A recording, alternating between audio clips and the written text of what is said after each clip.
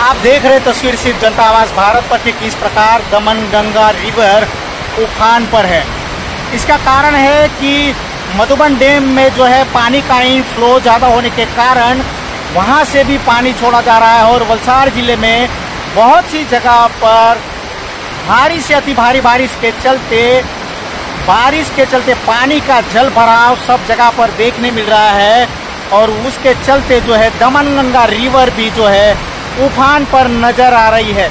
इस प्रकार की प्राकृतिक सौंदर्य की तस्वीर कहे तो गलत नहीं होगा क्योंकि बारिश की पहली तस्वीर और अच्छी तस्वीर दमनगंगा रिवर की जो उफान पर है और इस प्रकार जो पानी का जल स्तर जो भारी बारिश के चलते बढ़ा है उसके चलते ही ये दमनगंगा रिवर का जो है रिवर उफान पर है।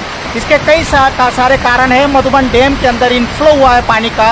महाराष्ट्र के जो बॉर्डर एरिया है, उसका भी पानी दमनगंगा में इसलिए आता है कि वो मधुबन डैम के अंदर आने के बाद उसको छोड़ा जाता है तो वो पानी जो है, वो दमनगंगा रिवर पर वापी के यहाँ पर पहुँचता है और वो आप तस्वीर देख रहे सिर्फ़ जनता आवास भारत पर की प्राकृतिक सौंदर्य देखने मिल रहा है। लेकिन इस पर यहाँ पर एक तस्वीर भी सामने आई है कि पानी के तेज बहाव के बीच जो है मच्छी पकड़ने के लिए भी बहुत सारे लोग आए हैं। सावधानी बरतना बहुत आवश्यक है।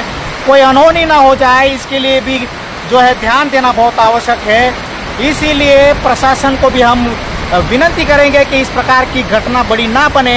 इसके लिए एहतियात के तौर पर जो है यहाँ पर लोग पानी के अंदर, तेज बहाव के अंदर नहीं जाए, वो भी बहुत आवश्यक है।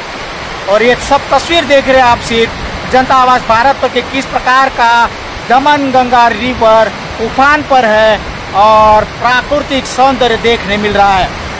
ब्यूरो रिपोर्ट, जनता आवाज़, भारत। भारी और तेज़ बारिश के बाद जो दमनगंगा रिवर उफान पर है, वहाँ पर लोग मछलियाँ पकड़ने आ जाते हैं। उसका कोई दिक्कत का कोई कारण नहीं है, लेकिन जान मुसीबत पर ना आ जाए, वो बहुत ध्यान देना आवश्यक है। और इस प्रकार की तस्वीर और जनहित की खबर जनता आवाज़ भारत बताएगा। ब्यूरो रिपोर्ट, जनता आवाज़ भारत।